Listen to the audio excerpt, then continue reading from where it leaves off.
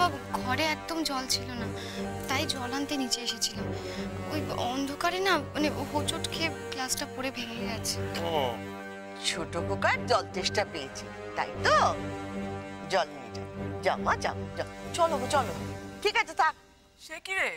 ঘরে জল নেই মানে? তুই কি রাত্রে শুতে যাওয়ার সময় অমিত ঠাকুরবার জন্য এক বোতল জলও ভরে নিয়ে শুতে যেতে পারিস না? ইস, বেচারার তো তেষ্টায় গলা শুকোচ্ছে। হ্যাঁ ইদানিং অমিত ঠাকুরপো তোরা তো যত্ন করছে। জ্বর হলে থার্মোমিটার দিয়ে নিজে চেক করে দিচ্ছে। বাড়ির কোনো কাজে হাত লাগাতে দিচ্ছে না। সেই অমিত ঠাকুরপোর জন্য সামান্য একটু জল নিয়ে যেতে তুই ভুলে গেলি লাবণ্য? আচ্ছা তোরা কি জানিস কি হয়েছে? হতে হতে পারে ও জল নিয়ে গেছিল সেটা শেষ হয়ে গেছে আবার নিতে এসেছে। একটা সামান্য ব্যাপার নিয়ে এত ইস্যু তৈরি করছিস কেন? ইস্যু বর্দিবে ইস্যু তৈরি করার কি আছে? লাবণ্য তো খুব ভালো মতো জানে যে বাবা মা রাত্রে ঘুমের ওষুধ খেয়ে ঘুমোতে যান। সেখানে ও এক বোতল জল ভরতে এসে ঝনঝন করে আওয়াজ করে পৃথিবী শুদ্ধ লোকের ঘুম ভাঙিয়ে দিল তার বেলায়। আচ্ছা ঠিক আছে চুপ করো না। যা হবার তা তো হয়েই গেছে। শুধু শুধু কথা বাড়াচ্ছে যাও মা যাও। তুমি জল নিয়ে যাও নাহলে এক্ষুনি ছোট কোকা নিচে চলে আসবে। যাও যাও যাও। এই তোমরা যাও শুয়ে পড়ো। আমি তো সেটাই ভাবছি যে অমিত ঠাকুরপো এখনও নিচে নেমে এলো না কেন? লাবণ্যকে একটা কথা বললে যেখানে অমিত ঠাকুরপো দশটা কথা শুনিয়ে দেয় সেখানে সেখানে এত জনে এত কথা বলছে এতক্ষণে তো অমিত ঠাকুরপোর নিচে নেমে আসা উচিত ছিল তাই না? আচ্ছা লাবণ্য অমিত ঠাকুর আদেও ঘরে আছে তো? কি বলছো তুমি? এত রাতে অমিত অমিত বাড়িতে থাকব না তো যাবে কোথায়? আচ্ছা সৃজন তুমি কি ভুলে গেছো নাকি? অমিত ঠাকুরপোর তো রাত বিরাতে ডিউটি পড়ে। কিন্তু আমি তো পই পই করে ছোট খোকাকে বারণ করেছিলাম। এই সময় কোন রকম ঝুট ঝামেলার মধ্যে না জড়াতে। আজ তো ডিউটিতে যাবার কথা নয়। তা, ছোট মামা ছোট খোকা ঘরে আছে না নেই? না না মানে মানেটার আবার কি আছে? সোজা কথা, সোজা উত্তর দে। অমিত ঠাকুরপো ঘরে আছে হ্যাঁ কি না? আমি যে এখন বেরোচ্ছি এটা যেন কেউ জানতে না পারে। চুপ করে আছো কেন? বলো সে আছে না নেই? দেখছি। ছোট খোকা ছোট খোকা। মা মা আমার কথাটা একটু শোনো। কি হলো? ছোট খোকা আওয়াজ দিচ্ছে না কেন? কি হলো বলো? ছোট খোকা ঘরে আছে কি নেই?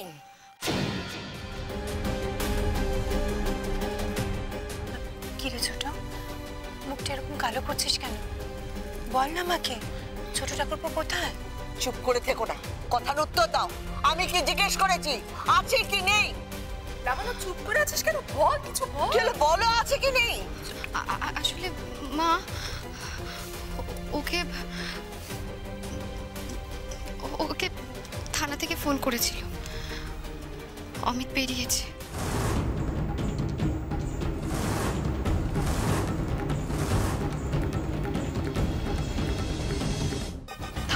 ফোন এলো অমিত বেরোতে চাইলো আর তুমি তাকে যেতে দিলে। আটকালে না কেন? মা আমি চেষ্টা করেছিলাম মা কিন্তু তুমি তুমি যদি আটকাতে নাই পারবে তো আমাকে ডাকলে না কেন? অমিত কোথায় গেছে কিছু জানো? মানে তোমায় বলে গেছে? মানে কোথায় রেড করতে গেছে? আহ, সে সম্বন্ধে তোমার কোনো আইডিয়া আছে? অমিত কি জানতে পেরে গেছে যে আজকের রাতে ছোট মার নার্সিংহোমে আবার কিডনি অপারেশন হচ্ছে? ছোট মার নার্সিংহোমে যাওয়া মানে তো অমিতেরও বিপদ। আর অমিতের হাতে যদি বর্দা ভাই ধরা পড়ে যায়, তাহলে তো তাহলে তো আমাদের গোটা পরিবারটাই ভেঙে শেষ হয়ে যাবে। আমি এই জন্যই বারবার বলি না যে আমার ছেলেটাকে কিছুতেই তুমি সংসারে আনতে পারছ না। কেন? কেন পারছ না, লাবণ্য? কেন পারছ না? হ্যাঁ? সে বারবার বিপদের মধ্যে কেন ঝাঁপিয়ে পড়ছে? অমিত ঠাকুরপো মৃত্যুর মুখ থেকে ফিরে এলো। তার হামলাকারীরা এখন পর্যন্ত ধরা পড়েনি। আচ্ছা মা লাবণ্য কি বলুন তো হ্যাঁ? ও কি? এত রাতে এরকম একটা অবস্থায় অমিত ঠাকুরপোকে বাড়ি থেকে বেরোতে দিল কি করে? জানো তো মা আমি হলে এই সময় আমার বাবা কিছুতেই ছাড়তাম না। একেবারে আটকে রাখতাম। আই শোন সেজো তোর বর আর ওর বরের মধ্যে অনেক পার্থক্য আছে সেটা বোঝার চেষ্টা কর। আর ছোট ঠাকুরপোকে ইচ্ছে করলে জোর করে আটকে রাখা যায় না। যায় যায় যায়। চেষ্টা করলে আটকে রাখা যায়। সোচো সোচো শান্ত হও, শান্ত হও। শোনো আমার কথাটা শোনো। ছোট খোকার জন্য তোমার ভয় হচ্ছে এটা আমি ভালো বুঝতে পারছি। ও একজন আইপিএস অফিসার। বিপদ নিয়ে খেলাটাই তো প্রফেশন আচ্ছা ছোট খোকার ওপর যারা গুলি চালিয়েছিল তারা সবাই শাস্তি পাক তারা সবাই ধরা পড়ুক এটা তুমি চাও না? না চাই না। আমি মা হয়ে শুধু একটুকুই চাই। আমার ছেলেটা সুস্থ শরীরে বাড়ি ফিরে আসুক। বাড়ি ফিরে আসুক এটুকুই আমি চাই। কিন্তু আজ আজ যদি ওর কোনো রকম বিপদ হয়? না মা আমি বলছি তো অমিতের কিচ্ছু হবে না মা। হ্যাঁ? তুমি তো সব জানতা। বিপদ হবে না। বড় বড় কথা না বলে এক্ষুনি ফোন করো। আমার ছেলেটাকে এক্ষুনি ফোন করে বলো। ও যেখানে আছে যেভাবে আছে ওই জন্য বাড়ি চলে আসে যাও দাঁড়িয়ে দেখো না।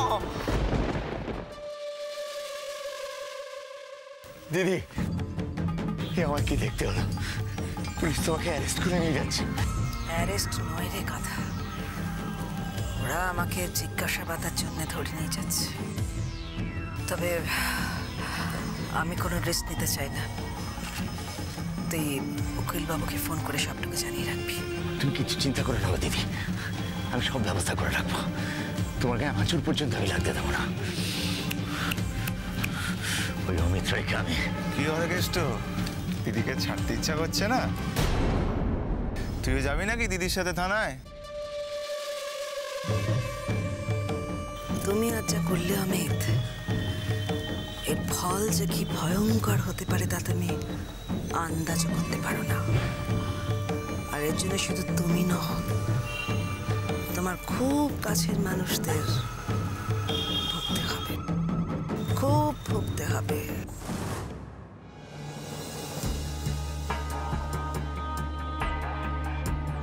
এনাকে নিয়ে যাও।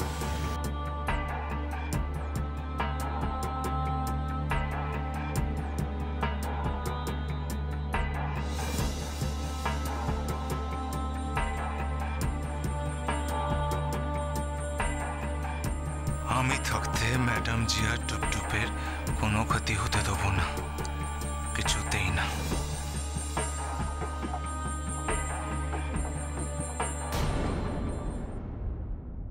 বর্দা ভাই।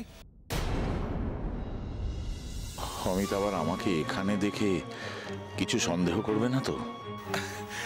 দেখি শুনুন। হ্যাঁ বল। কি রে বর্দা ভাই তুই এখানে কেন? একই প্রশ্ন তো আমিও তোকে করতে পারি কিন্তু করব না। ইনফ্যাক্ট তুই এখানে যে কারণে আমিও সেই একই কারণে। নাইট ডিউটি হ্যাঁ। আচ্ছা বর্দা ভাই তোকে একটা প্রশ্ন করি। হ্যাঁ বল। ছোট মার যে সিক্রেট অপারেশন থিয়েটার ছিল এই বিষয়ে তুই কিছু জানতিস? না না। আমি তো নিজেই শুনে চমকে উঠেছি। ও। এই জন্যই তোকে বলেছিলাম চোখ কান খোলা রাখতে চোখ কান আচ্ছা শোন বলছি এখন কিছু রুটিন কোয়েশ্চেন অ্যান্সার হবে তোকে প্রশ্ন করা হবে। রুটিন রুটিন তুই যা একটু কোঅপারেট কর ঠিক আছে? হ্যাঁ হ্যাঁ হ্যাঁ তুই একদম চিন্তা করিস না একদম ভাবিস না। আচ্ছা আমি তো বা- ছোট মাকে যে এভাবে থানায় পাঠিয়ে দিলি হ্যাঁ রে ওখানে থার্ড ডিগ্রি অ্যাপ্লাই করা হবে না তো? কি জানি ভাই ছোট মা যদি মাঝখান থেকে আমার আর সৃজনের নাম বলে দেয় তখন? কি যে বলিস তুই পারিস বর্দা ভাই। যা যা যা। হ্যাঁ দেখেছ দেরি হয়েছে আমি আসি। বলছি থানার ব্যাপার তো। বলা যায় না। এনিথিং ক্যান হ্যাপেন তুই যা।